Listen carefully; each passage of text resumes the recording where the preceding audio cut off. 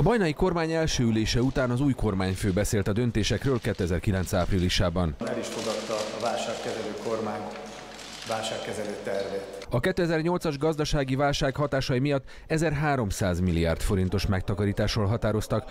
A válságkezelő program egyik emblematikus eleme a nyugdíjasokat érintette. A kormány megszüntette a 13. havi nyugdíjat. Az Orbán kormány koronavírus válságot kezelő programjában is szerepel a 13. havi nyugdíj.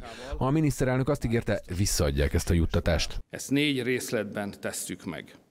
2021. februárjában a januári nyugdíjon felül a nyugdíjasok egy heti nyugdíjat fognak kapni, és ez történik majd 2022-ben, 23-ban és 24-ben is. A szocialisták szerint ez a javaslat épp azokon nem segít, akiknek kellene. A kis nyugdíjasok ugyanis kevesebbet kapnak, mint azok, akiknek magasabb a nyugdíjuk. Mi azt javasoljuk, hogy ha jövő év januárjában kerül ez bevezetésre, akkor mindenkinek egy összegben egy teljes havi eh, nyugdíjat tessenek fizetni melynek összege egységesen 140 ezer forint. Az MSP azért is egy lépésben adná vissza a jutatást, mert évente 100 ezer nyugdíjas hal meg, és úgy számolnak, így négy év alatt 400 ezeren nem kapják meg a teljes összeget.